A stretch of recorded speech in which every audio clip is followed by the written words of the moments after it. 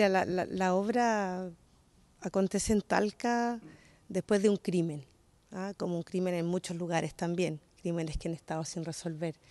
Y, es el viaje de los personajes en este sentido de, la, de tres madres que de alguna manera ven que su círculo cercano eh, corre peligro por ser posibles sospechosos.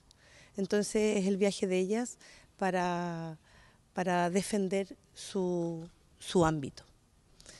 Eh, bueno, ha sido un trabajo, como lo dije, bastante intenso. Eh, trabajar con una compañía en residencia ha sido muy interesante, muy enriquecedor.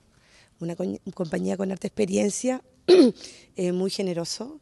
Entonces hemos establecido un diálogo muy fructífero en el trabajo, complejo, profundo, y que nos ha llevado a construir una nueva obra. Eso es lo interesante, que nosotros postulamos este nativo pensando hacer un remontaje de La Noche Más Oscura de Todas y terminamos haciéndonos tantas preguntas que construimos una nueva, una nueva historia. ¿Va a ser ahora la próxima semana? Eh, sí, obviamente.